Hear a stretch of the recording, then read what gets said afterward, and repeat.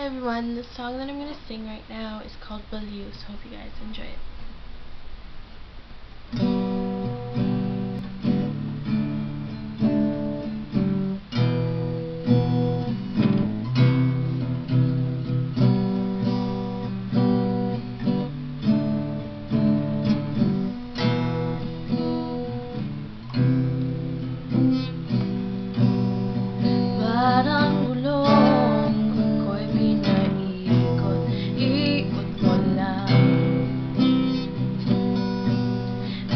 maintindihan.